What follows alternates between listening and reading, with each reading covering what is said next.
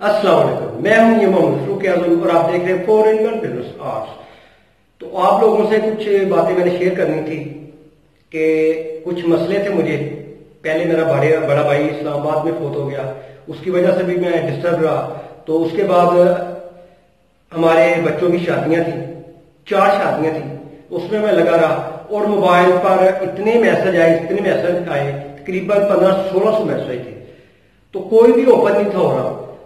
Set hang हो गया। उसकी बहुत बड़ी प्रॉब्लम हो गई काफ़ी सारे मेरे जो दोस्त हैं कस्टमर हैं, जो मेरे प्लान ए में भी आ रहे हैं, उनके लिए भी मसला बन गया। तो मुझे समझ नहीं आ रही, मैंने पहले भी ठीक करवाया, मगर नहीं हुआ। आया, खुला, चला, मगर फिर हैंग हो गया। तो बरए मेहरबानी कुछ दोस्तों से गुजारिश है कि मुझे केमिकल या इसके मतलब अगर आपने सवाल करने हैं तो वो ना करें। मेरे लिए मसला बन रहा है। मेरा जो प्यारा मोबाइल है, ये ओवरलोड होने की वजह से हैंग हो गया।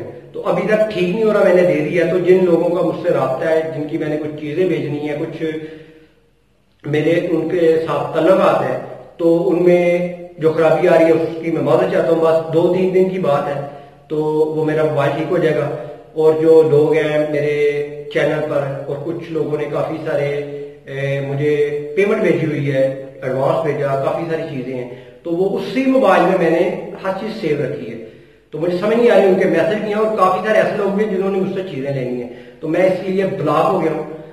और लिहाजा अगर जो आपने अगर कोई चीज़ लेनी है तो फिर आप बर मेहरबानी मुझे इस नंबर पर व्हाट्सएप करें। मगर अभी ये चालू नहीं है, तीन चार दिन तक इंशाल्लाह उम्मीद है कि ये चालू हो जाएगा।